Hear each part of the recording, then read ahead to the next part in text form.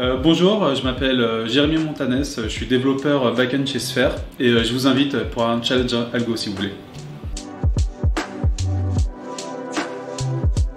Vous avez votre tableau rempli de couleurs, donc du coup vous allez partir de la case en haut à gauche et en fait à chaque fois que vous allez cliquer sur une couleur différente de la case en haut à gauche, le carré va absorber les couleurs qui lui sont adjacentes de la couleur sélectionnée.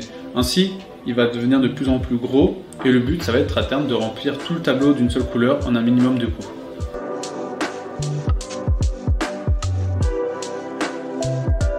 Alors, le but de l'event le 10 octobre, c'est de sélectionner un certain nombre d'algos et de les comparer entre eux afin de déterminer celui qui est le meilleur.